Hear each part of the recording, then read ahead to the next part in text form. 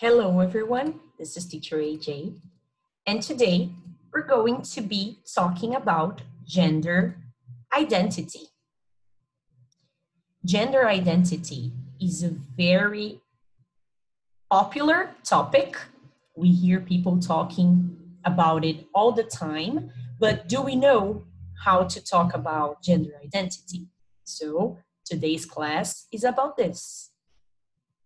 First of all, what is gender identity after all?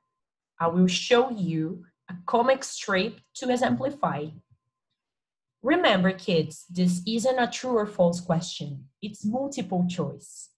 Gender is a multiple topic, a multiple subject. There are many definitions for that, and today we're going to talk about this a little bit.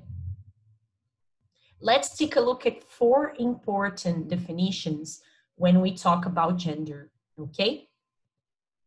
First, gender identity. Gender identity is a person's perception of having a particular gender, which may or may not correspond with their birth sex. So basically it means how I see myself, how I feel. The exterior is not important, okay? It's about me, myself, and I with myself. Second important definition cisgender, relating to a person whose sense of personal identity and gender corresponds with their birth sex, which means when I was born, the doctor said I was a boy. I feel like a boy. I'm cisgender. So it means that I feel okay with the sex I was assigned at birth. Third definition, transgender, relating to a person whose sense of personal identity and gender does not correspond with their birth sex, which means when I was born, the doctor said I was a boy. I don't feel like a boy, so I am transgender. So I was assigned as a boy when I was born, but I don't feel like a boy, so I am transgender.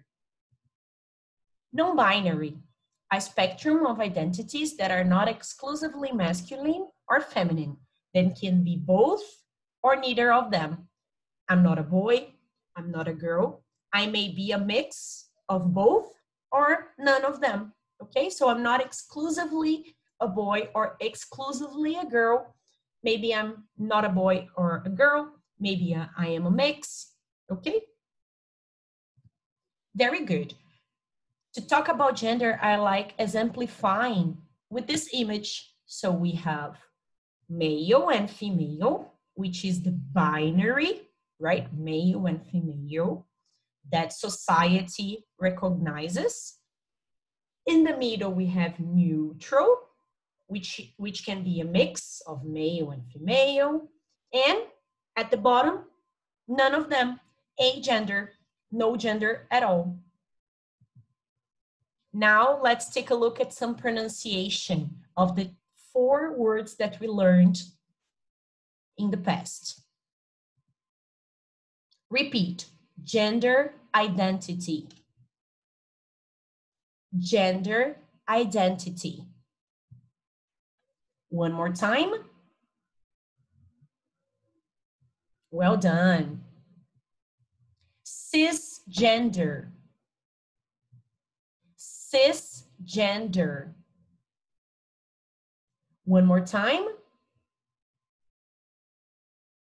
Cisgender. Very good. Transgender. Transgender. One more time. Transgender. Well done. Non-binary. Non-binary. One more time. Non-binary. Well done. Now let's practice a little. So here we have Match the words to the meanings. Letter A, gender identity. Letter B, cisgender. Letter C, transgender.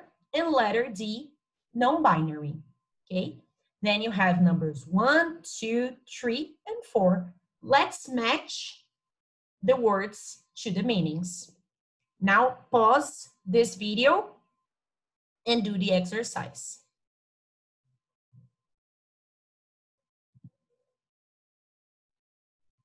Okay, let's see if your answers are correct. Okay, so what is gender identity? Number two, how you see yourself, how you identify yourself, and how you express yourself.